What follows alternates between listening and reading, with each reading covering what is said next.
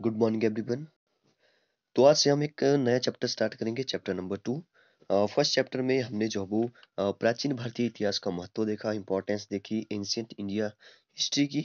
अ, तो हमने जो वो एक्सरसाइज भी कंप्लीट कर लिए. तो आज से हम स्टार्ट करेंगे चैप्टर नंबर टू प्राचीन भारतीय इतिहास के आधुनिक लेखक. ठीक है?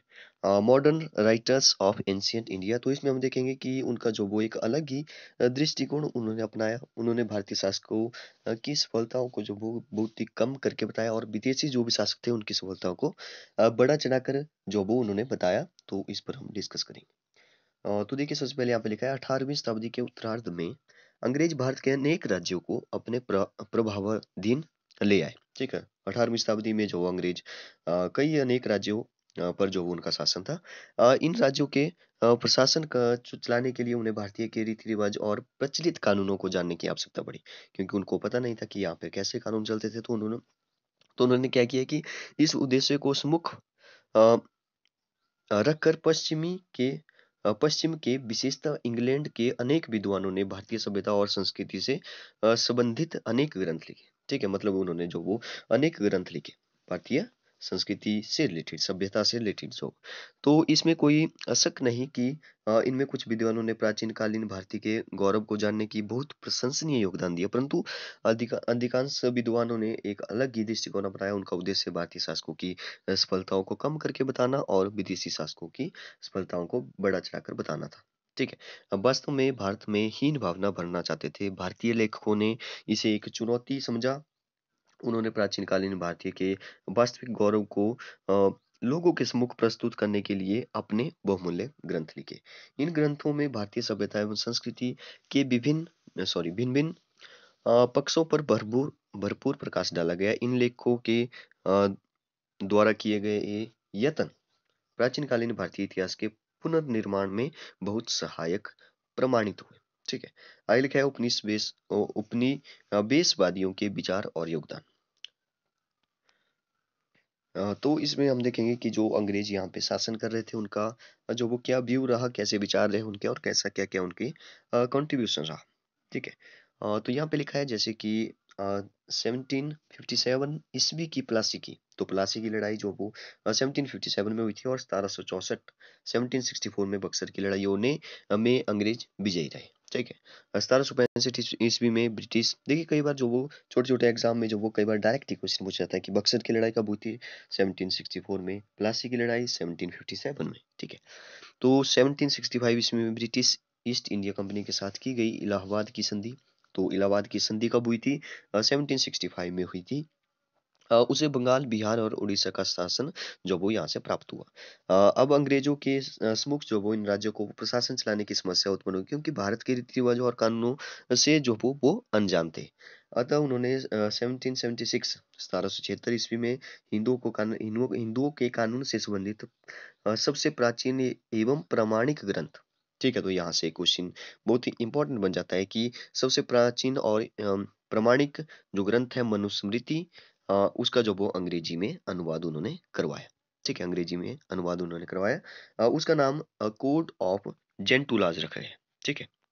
तो अंग्रेज़ों ने, ने जो वो क्या किया?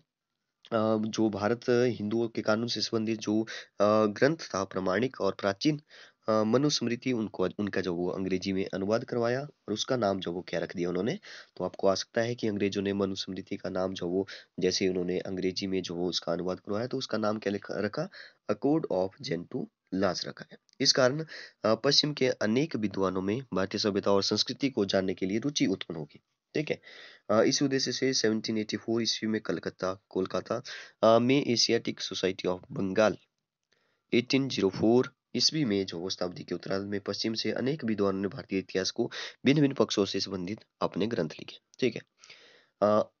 इनमें से कुछ विख्यात विद्वानों और उनके द्वारा किए गए यत्नों का विवरण निम्नलिखित है, ठीक है? सो, सबसे पहले आता है विलियम जॉन्स। तो विलियम जोन्स के बारे में देखेंगे कि उसका जो वो क्या योगदान रहा ठीक है? यहाँ पे लिखा है? 1746 से 94 तक जो वो वो रहा होगा। 1746 में उसका जन्म और मृत्यु जो वो 94 ऐसे यहाँ पे लिखा है ठीक है? विलियम जॉन्स इंग्लैंड का एक महान विद्वान था। वह अ, 1783 में कलकत्ता जो आजकल जो वो कोलकाता है के सर्वोच्च न्यायालय का न्यायाधीश बनकर भारत आया था। ठीक है? तो आपको पूछा जा सकता है कि विलियम जॉन्स जो वो इंग्लैंड का एक महान शासक तो था, लेकिन कोलकाता में जो वो क्या बनकर आया था? तो सर्वोच्च न्यायालय का न्यायाधीश जो वो बनकर आया था, बनकर आया था। 1784 ईस्वी में उसने एशियाटिक सोसाइटी ऑफ़ बंगाल की स्थापना की। तो आपको यहाँ से भी क्वेश्चन बनता है कि एशियाटिक सोसाइटी ऑफ़ बंगाल की स्थापना जो किसने की थी? विलियम जोन्स ने की थी। ठीक है, जो कि एक न्यायाधीश थे, कहाँ के? सर्वोच्च न्यायालय कोलकाता के। ठीक है। इसका प्रथम प्रधान भी बना था। इस सोसाइटी का उद्देश्य प्राचीन कालीन भारतीय इतिहास उसकी भाषाओं, साहित्य, कानून विज्ञान, दर्शन और कला की खोज को प्रोत्साहित करना था। इसके अनेक परिणाम स्वरूप बहुत से यूरोपीय विद्वान इस काम में जुट गए। उन्होंने भारत के अनेक विख्यात ग्रंथों जैसे वेद, उपनिषद धर्मशास्त्र और गीता सॉरी गीत, गोविंद इत्यादि का अंग्रेज़ी में अनुवाद करवाया। तो आपको यहाँ से भी क्वेश्चन बन सकता है। कोई टफ क्वेश्चन आया तो उसने जो वो क्या क्या, जो वो कौन कौन से जो वेद थे, जो ग्रंथ थे, उसका जो वो अंग्रेज़ी में अनुवाद करवाया तो कौन कौन से थे? उपनिषद, धर्मशास्त्र तथा गीत गोविंद, ठीक है का अंग्रेज़ी में अनुवाद करवाया। विलियम जॉन्स ने 1789 ईस्वी में अभिज्ञान शकुंतलम ठीक है, अभिज्ञान शकुंतलम बहुत ही इंपॉर्टेंट क्वेश्चन है, नाटक का अंग्रेज़ी में अनुवाद किया। वास्तव में यह एक प्रशंसनीय पग था। ठीक है तो आपको ये भी आ सकता है कि कौन सा नाटक था जिसका उसने जो वो विलियम जॉन्स ने, जो कि एक न्यायाधीश थे, उसने जो वो क्या किया था? अंग्रेज़ी में अनुवाद इसका भी करवा दिया था एक नाटक का।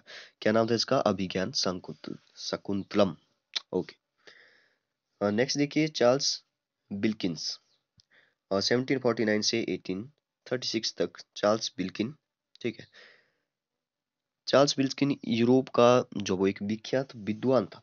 कहाँ का था यूरोप का था। यह वह प्रथम विद्वान था जिसने 1785 में भाग, भागवत गीता का अंग्रेज़ी में अनुवाद करवाया तो यहाँ से पक्का क्वेश्चन बनता है क्योंकि भागवत गीता जो वो एक बहुत ही इंपॉर्टेंट जो वो हमारे लिए बुक है। तो भागवत गीता का जो वो अंग्रेज़ी में अनुवाद किसने करवाया था? तो चार्ल्स बिल्किंस ने करवाया था। ठीक है? ये जो वो कहाँ का था? यूरोप का एक विद्वान था ठीक है? इसके अतिरिक्त उसने जयदेव का जयदेव की उसने जयदेव की गीत गोविंद और कालिदास के अभिज्ञान शकुंतलम नामक पुस्तकों का अंग्रेज़ी में अनुवाद करवाया। यहाँ पे देखिए अभिज्ञान शकुंतलम का अंग्रेज़ी में अनुवाद जो वो किसने भी करवाया था? विलियम जॉन्स ने। तो यहाँ पे भी लिखा है कि गीत गोविंद और कालिदास के। यहाँ पे कालिदास के है, ठीक है?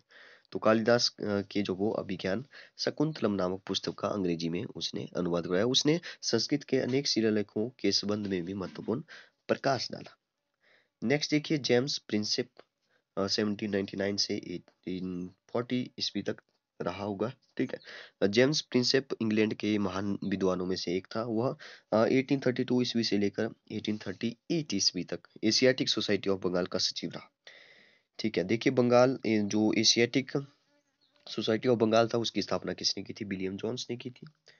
ठीक है, उसके बाद जो वो वो उसका क्या बन गया था? प्रथम प्रधान भी वही बना था, विलियम जॉन्स। उसके बाद जेम्स प्रिंसेप आया, वो जो वो सोसाइटिक ऑफ़ बंगाल का सचिव रहा, ठीक है। वह अनेक वर्षों तक कलकत्ता, कोलकाता जो आजकल है, ठीक है। वाराणसी की टकसालों का प्रधान भी रहा। इस समय इस समय के दौरान उसने भारतीय सिक्कों के संबंध में महत्वपूर्ण खोजें की, ठीक है। तो आगे भी है थोड़ा सा। चलिए आगे मैं ऐसे बता देता हूँ कि इसने जो वो क्या, इसका महत्वपूर्ण योगदान रहा। देखिए, यहाँ पे लिखा है, भारतीय सिक्कों के संबंध में महत्वपूर्ण खोजी की। तो लिपि को, जो भी लिपि लिखी हुई थी, उनको पढ़ने में उसने जो वो सफलता प्राप्त की थी। और सबसे इम्पोर्टेंट बात इसकी क्या थी कि उसने जो वो अशोक के जो शिलालेख थे उसको पढ़ने में भी सफलता प्राप्त करना, जो वो इसका एक प्रशंसनीय मतलब की सफलता थी इसकी, ठीक है? कब किया था इसने? 1837 में इसने जो वो अशोक के शिलालेखों को पढ़ने में सफलता प्राप्त की थी। इसके कारण जो वो एक महान सम्राट की सफलताओं को जो हम लोग जो वो जान पाए। ठीक है? तो आज के लिए इतना काफ़ी है। Okay, thank you and have a nice day.